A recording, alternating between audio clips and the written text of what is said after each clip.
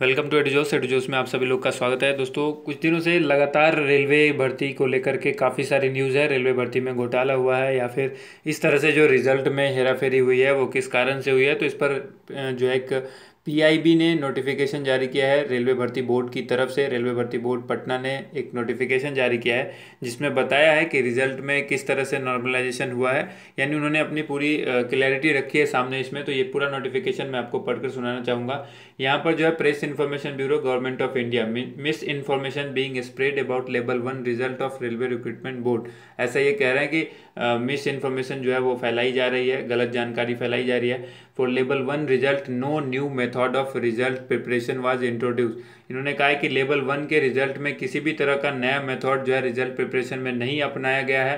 As per the centralise employment notification marks secured by the candidate are subject to normalisation जो भी marks आए हैं वो candidate को नॉर्मलाइजेशन uh, करने के बाद आए हैं। तो मेरा सवाल यही है अभी भी कि आपने फिर रॉ मार्क्स क्यों नहीं दिखाया? ठीक है? एक सवाल ये मेरा अभी भी बनता है, जब तक इस पर क्लैरिटी नहीं आएगी रॉ मार्क्स हर एक कैंडिडेट का दिखाना होगा। दूसरा सवाल मेरा ये बनता है कि आपको फाइनल आंसर की, यानी मास्टर आंसर की क्यों नहीं दिखाई, जब आपने कैंडिडेट से पचास पचास रुपये ले लिए कि क्वेश्चन के लिए ऑब्जेक्शन करो। ऑब्जेक्शन करने के बाद आपको फाइनल आंसर की दिखाना चाहिए जो आपने नहीं दिखाया। तो ये दो चीज़ आप क्लियर कर दीजिए, सबको कोई प्रॉब्लम नहीं होगी।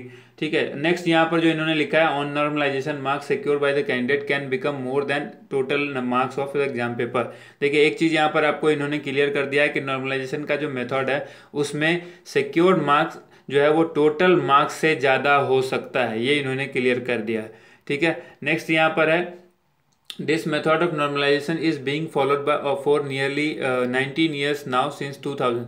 2000 सन 2000 से ये नॉर्मलाइजेशन का मेथड जो है वो अप्लाई किया जा रहा है। इसलिए आपको इसमें कहीं प्रॉब्लम नहीं होना चाहिए कि नॉर्मलाइजेशन का जो मार्क्स है वो 100 से कैसे बढ़ गया। तो इन्होंने क्लियर कर दिया कि नॉर्मलाइजेशन के मार्क्स में 100 से ज़्यादा मार्क्स आ सकते हैं। यानी 101 109 आपने देखा है तो वो पॉसिबल है।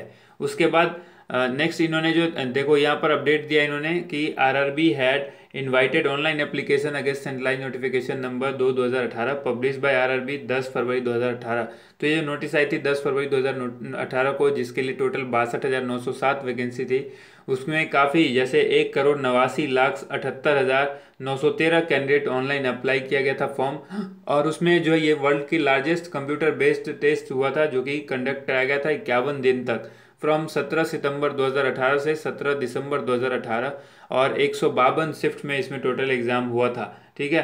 नेक्स्ट यहाँ पर है जो द रिज़ल्ट ऑफ़ द एव computer based test was announce on चार तीन दो हज़ार उन्नीस, चार मार्च को रिज़ल्ट आया था और उसके बाद जो यहाँ पर इंपॉर्टेंट इंस्ट्रक्शन दिया हुआ है कुछ इन्होंने कि ये जो है नोटिफिकेशन के अंदर ये पैरा सेवन में दिया गया था कि जो है नॉर्मलाइजेशन किया जाएगा।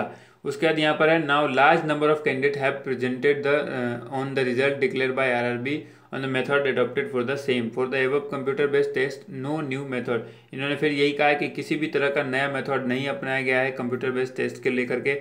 नॉर्मलाइजेशन जो हम पिछले 20 साल से 19 साल से करते आ रहे हैं, वही नॉर्मलाइजेशन का मेथड हम अपनाया है हमने। और वो उन्होंने फार्मूला बताया नीचे, जो सभी आपको पता है कि इस फार्मूले के अकॉर्डिंग जो है, वो जैसे कि यहाँ पर जो फार्मूला लिखा है, इसमें मतलब बताया हुआ इन्होंने कि स्टैंडर्ड एविएशन लेते हैं हाईएस्ट एवरेज स्कोर और बेस ऑफ़ नॉर्मलाइजेशन उसके बाद वो फिर जिस शिफ्ट में एग्ज़ाम होता है, वहाँ का नॉर्मलाइजेशन निकालते हैं, फिर raw score of the candidate तो raw score of the candidate आपने जब निकाला तो फिर raw score of the candidate क्यों नहीं दिखा रहे? ये दिखाना ज़रूरी है, ठीक है? आप कितनी भी सफ़ाई दें, ये सवाल बनता है। रॉ स्कोर ऑफ़ मैं ये नहीं कह रहा कि परीक्षा का रिज़ल्ट कैंसिल कर दीजिए या जिनका सिलेक्शन हो गया, उनका सिलेक्शन रद्द कर दीजिए, ऐसा मैं बिल्कुल नहीं कह रहा हूँ। लेकिन आप उन सबको मौका दीजिए कि वो रॉ मार्क्स अपना देख सके और आंसर की भी अपनी देख सके फाइनल आंसर की। नेक्स्ट यहाँ पर जो इन्होंने कहा है, देखो all R R B examination computer based test held since 2000 जो कि मैंने यहाँ पर बता दिया। It is not uncommon that normalisation marks secured by candidate would go more than the total marks of the exam paper ये किसी तरह का जो है वो नई बात नहीं है कि जो मार्क्स सिक्योर होता है कैंडिडेट के पास, जो मार्क्स आता है नॉर्मलाइजेशन के बाद, वो टोटल मार्क्स जो एग्ज़ाम पेपर में होता है, जैसे सौ का टोटल मार्क्स था तो उससे ज़्यादा नॉर्मलाइजेशन पर आ सकता है। ये इसने कहा है। ठीक है नेक्स्ट यहाँ पर जो इन्होंने कहा है कि टेस्ट सीबीटी, जैसे कि लेवल वन में computer based test CBT one twenty six point the maximum normalised marks of the any candidate in level one जो मैक्सिमम मार्क्स गया है किसी भी कैंडिडेट का, वो एक सौ छब्बीस दशमलव एक तीन, यानी सौ नंबर के पेपर में इनका नॉर्मलाइजेशन होने के बाद एक सौ छब्बीस दशमलव एक तीन मैक्सिमम मार्क्स गया है। ज़्यादा किसी भी तरह का मार्क्स किसी के पास है तो वो गलत है। या तो वो फैलाया जा रहा है गलत तरीके से, या फिर वो वैलिड नहीं है। नेक्स्ट यहाँ पर देखिए, इन्होंने जो कहा है कि वो कहा है कि before publication of result all candidate were made primary to the question paper master answer key and their own evaluated answer sheet the objection tracker was accessible to the candidate from 14 जनवरी से 20 जनवरी during this 1.58 lakh candidate submitted their objection which were considered and reviewed It may be noted that additional 1.5 lakh job railway will be, also be recruiting 2.3 lakh more people over next two years. इन्होंने बताया डेढ़ lakh jobs है, वो और आने वाली है। चलिए इन चीज़ों को तो मैं छोड़ रहा हूँ।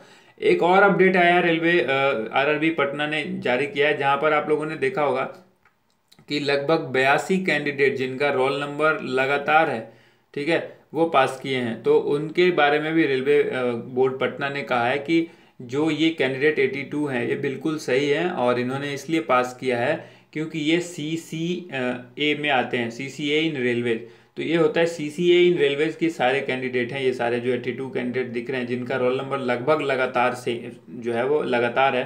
तो ये सी सी ए क्या होता है? इसके बारे में उन्होंने बताया कि सी सी ए होता है course completed act in apprentice तो सी सी ए जो कर रखा है, जिन्होंने अप्रेंटिस की हुई है रेलवे के अंदर, उनका सिलेक्शन हुआ है वो।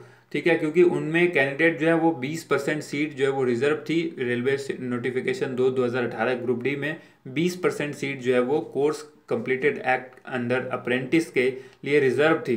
तो उस 20 परसेंट में काफ़ी वैकेंसी आती है, लगभग जो है वो तीन तीन तीन हज़ार कुछ लोगों का सिलेक्शन होना था, जिसमें तीन सौ कुछ लोग ही सिलेक्ट हो पाए हैं, ऐसा उन्होंने बताया। 331 लोग जो है वहाँ पर सिलेक्ट हुए हैं, जिसमें उन्होंने बताया कि तीन हज़ार पाँच सौ चौरानवे कैंडिडेट का सिलेक्शन होना था, लेकिन ज़रूरत थी उनको उस सीट के अकॉर्डिंग लेकिन 331 कैंडिडेट ही पास हो पाए। ऐसा इसलिए हुआ क्योंकि उन सभी कैंडिडेट को 40 से ऊपर मार्क्स था जो भी जनरल कैटेगरी के थे, उन सबको 40 से ऊपर मार्क्स था 331 कैंडिडेट को। तो उन्होंने 331 कैंडिडेट को जो है सी सी ए ए में पास कर दिया है, ठीक है?